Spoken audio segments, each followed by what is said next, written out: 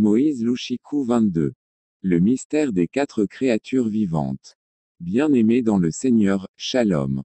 Je suis le pasteur Moïse Louchikou. Aujourd'hui, le Maître m'a mis à cœur de partager avec vous sur le thème des quatre êtres vivants autour du trône. C'est une révélation directe que nous avons reçue du Seigneur lui-même en 2007 lorsque nous avons eu la visitation du Seigneur avec les deux archanges, Gabriel et Michel. Et nous sommes ici à l'église messianique de Kinshasa où cette expérience a eu lieu. Nous avons reçu le chapitre 4 de l'Apocalypse et nous allons lire avec vous les versets 6 et 7. La parole prophétique déclare. Apocalypse 4 sur 6 Il y avait devant le trône une mer de verre semblable à du cristal. Au milieu du trône et autour du trône, il y avait quatre animaux pleins d'yeux devant et derrière. Apocalypse 4 sur 7 La première bête était semblable à un lion, la deuxième bête était semblable à un veau, la troisième bête avait un visage d'homme, et la quatrième bête était semblable à un aigle qui vole. Nous répétons les paroles du Seigneur bien-aimé. Au verset 6, il est dit, Et devant le trône, il y avait une mer de verre semblable à du cristal. Le Seigneur nous a dit au cours de cette visitation que cette mer de cristal symbolise le principe des limites ou de la frontière entre le trône de Dieu et le domaine de l'homme. L'homme doit traverser la mer de verre de cristal s'il veut arriver là où Dieu est sur son trône. C'est comme l'océan qui est la frontière entre le monde terrestre et le monde marin. Pour passer du monde terrestre au monde marin, il faut passer par les océans. De même, pour passer de là où nous sommes au trône de Dieu, il faut passer par la mer de verre de cristal. La mer de verre, semblable à du cristal, est transparente et symbolise la transparence. Qui doit s'approcher du trône de Dieu? Celui qui est transparent et vit sans hypocrisie peut s'avancer vers le trône de Dieu. Dans la deuxième partie du verset 6, il est dit, au milieu du trône, et autour du trône, il y avait quatre animaux pleins d'yeux devant et derrière. Ces quatre créatures aux yeux pleins sont comme les CCTV, Closet Circuit TV, placés autour du trône de Dieu pour voir et scanner tous ceux qui s'approchent du trône. Ils ont des yeux devant et derrière. Ils sont comme la salle de contrôle du système du bureau de sécurité d'un bâtiment, surveillant toute personne entrant et sortant du bâtiment. Nous commençons maintenant l'analyse prophétique de ces quatre êtres vivants. Ces quatre êtres vivants étaient, au milieu du trône, et tout autour du trône. Ils sont proches de Dieu et occupent le rôle des puissants car ils sont autour du trône. Le Seigneur a dit que ceux qui ressemblent à ces êtres vivants sont les vainqueurs et qu'ils seront amenés au trône de Dieu. Le Seigneur a dit qu'il laissera le vainqueur s'asseoir avec lui sur son trône. À celui qui vaincra, je donnerai de s'asseoir avec moi sur mon trône, comme moi aussi j'ai vaincu et me suis assis avec mon Père sur son trône. Apocalypse 3h21. Le premier être vivant est le lion et cette nuit-là, le Seigneur nous a expliqué, n'est-il pas écrit à mon sujet que je suis le lion de la tribu de Judas Apocalypse 5 sur 5 Voici que le lion issu de la tribu de Judas, la racine de David, a vaincu pour ouvrir le livre et ses sept sceaux. Le deuxième être vivant est le veau et le Seigneur dit, N'est-il pas écrit dans les Écritures que j'ai été fait serviteur du Maître? Le veau est le symbole d'un serviteur qui travaille à labourer la terre pour faire pousser les cultures et les plantes. Philippiens 2 sur 7 Mais il s'est dépouillé lui-même, il a pris une forme de serviteur, et il a été fait à la ressemblance des hommes. Zacharie 3 sur 8 Voici que je vais faire sortir de mon serviteur le rameau. ESAI Tréma E 42 sur un Voici mon serviteur que je soutiens, mon élu, en qui mon âme prend plaisir, j'ai mis mon esprit sur lui, il portera le jugement sur les païens. Le troisième être vivant a le visage d'un homme et le Seigneur ajoute, N'est-il pas écrit dans les Écritures, Au commencement était la parole, et la parole était avec Dieu, et la parole était Dieu, Jean 1 sur 1, et cette parole n'est-elle pas moi? Puisqu'il est écrit, et la parole a été faite chair, et elle a habité parmi nous, et nous avons contemplé sa gloire, la gloire comme celle du seul enfant du Père, pleine de grâce et de vérité. Jean 1h14. Cet homme, le seul engendré du Père, fait mention de moi. Le quatrième être vivant est l'aigle dont le Seigneur a dit qu'il était le roi des oiseaux. C'est l'aigle qui fait sa demeure au sommet des hautes montagnes et qui vole haut dans les cieux. Le Seigneur a dit, cet aigle volant me symbolise parce que je suis suprêmement haut et que j'ai été élevé au-dessus de tout. Parce qu'il s'élève vers le haut, l'aigle est un symbole de la résurrection ou de l'ascension du Christ. Le Seigneur a poursuivi, les quatre créatures étant vivantes, c'est mon message que je vous donne sous quatre phases. Les quatre phases manifestent les quatre évangiles, Matthieu, Marc, Luc et Jean, sous quatre aspects différents du Seigneur Jésus. Dans Matthieu, nous voyons le roi Messie, le lion. Dans Marc, nous voyons le serviteur de Jéhovah, le bœuf. Dans Luc, nous voyons le Fils de l'homme, l'homme. Dans Jean, nous voyons le Fils de Dieu, l'aigle. Les quatre évangiles symbolisent les quatre coins de la terre. Les quatre coins de la terre symbolisent les quatre vents et les quatre directions, nord et sud, est et ouest. Le Seigneur nous a expliqué que pour atteindre le trône, il y a quatre phases par lesquelles nous devons passer. Le lion, le veau, l'homme et l'aigle. Le Seigneur a dit, pour atteindre le trône, vous devez être mes imitateurs. Je vous donnerai une place pour vous asseoir avec moi sur le trône lorsque vous passerez par ces quatre phases. La phase du lion. Le Seigneur Jésus a dit, Je suis le lion de la tribu de Judas. La première phase est le lion, qui est le symbole de la décision et de la détermination car il est écrit, Nul, ayant mis la main à la charrue et regardant en arrière, n'est propre au royaume de Dieu. Luc 9 sur 62. Pour arriver au trône dans le ciel, il faut avoir l'esprit du lion. Le lion attaque et ne recule jamais. Il faut être comme les lions, c'est-à-dire que lorsqu'il attaque, il ne recule jamais. Les lions s'approchent du trône et cette alliance avec le trône est le résultat et l'aboutissement de leur décision et de leur détermination à aller jusqu'au bout et à ne jamais reculer. Matthieu 11h12 Depuis le temps de Jean-Baptiste jusqu'à maintenant, le royaume des cieux est soumis à la violence, et les violents le prennent par la force. Nous devons être fermes dans notre décision de poursuivre Dieu afin de développer en nous l'image du lion. La phase du veau. Lorsque nous avons l'esprit du lion en nous, nous développons l'esprit de servitude comme un veau. Le veau ou le jeune taureau travaille dans les fermes en tirant des objets lourds comme la charrue pour briser le sol afin de pouvoir planter les semis.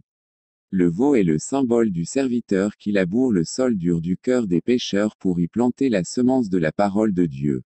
Lorsque ces semences prennent racine et poussent, les destinataires mûriront pour s'aimer et se servir les uns les autres.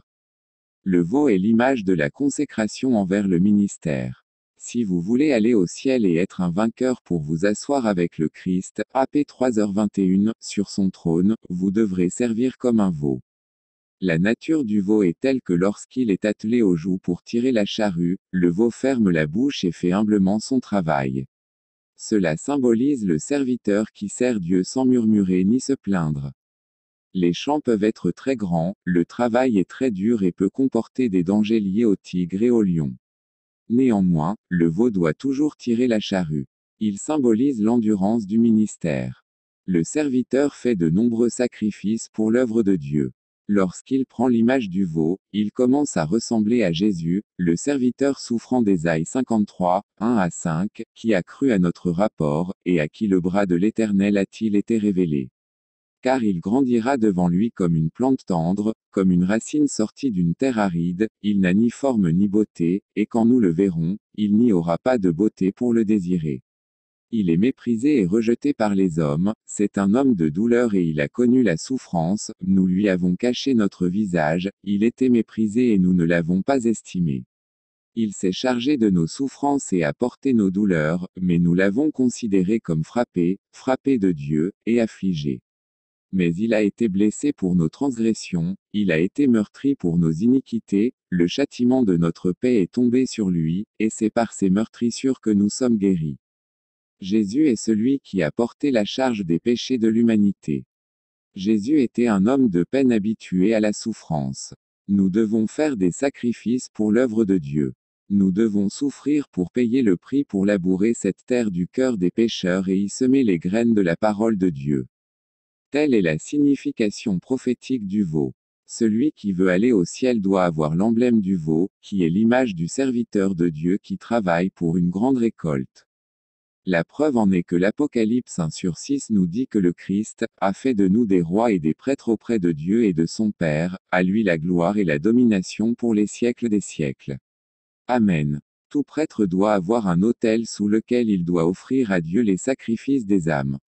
Comme le dit Paul dans Romains 15h16, être un ministre de Jésus-Christ auprès des païens.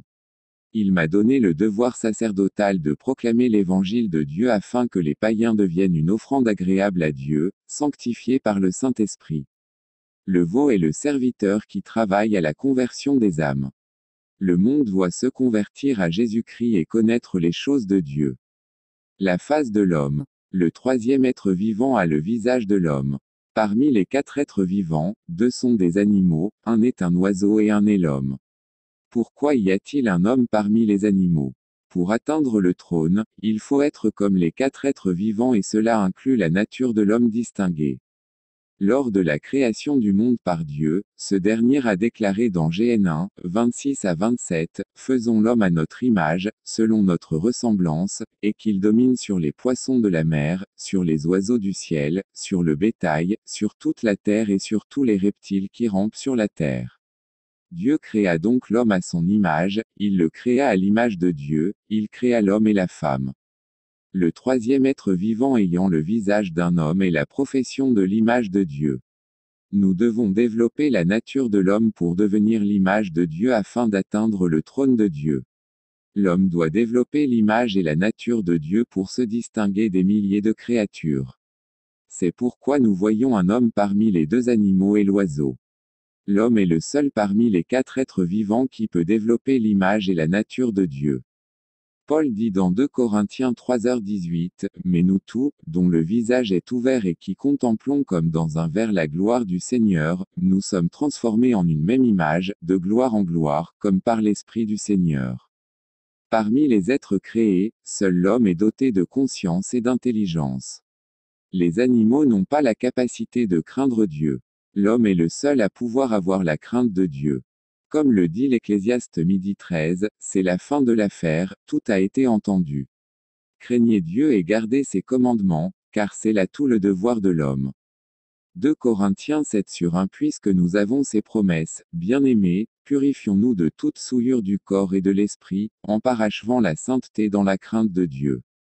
La signification prophétique de l'homme parmi les quatre êtres vivants est d'avoir l'image de Dieu et la crainte de Dieu pour venir au trône de Dieu.